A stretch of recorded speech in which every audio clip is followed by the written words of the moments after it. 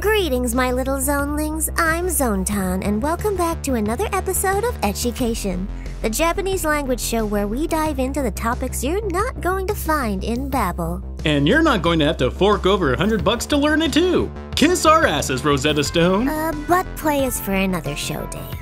Today, we're going to focus on another asset of the female form breasts. English is full of colorful euphemisms for boobs, and I'm sure you all have your favorites.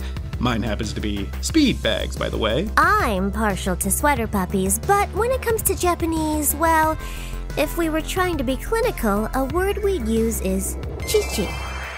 Then again, if we were trying to be clinical, we wouldn't be here, would we? Now, thanks to One Punch Man, I'm sure you're all familiar with the more colorful term, oppai which can also mean breast milk, by the way, but how would you use it in a sentence? Well, if you wanted to tell a girl her mams are popping, you could say, But if she looks like Christian Bale in The Machinist, you could say, Kore wa shomanai. Still, the Japanese language has many other words for chesticles, and they usually have to do with size. In the middle, we have funyu, which literally translates to normal breasts.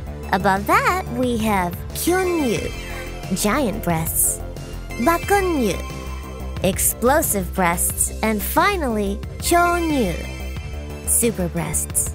Basically, Kazonga's so big you'd need a second spine grafted. On the other end of the spectrum, you have Binyu, delicate breasts, Hinyu, poor breasts, Munyu, no breasts, and finally below that, ZONE-tan. Ha! Funny.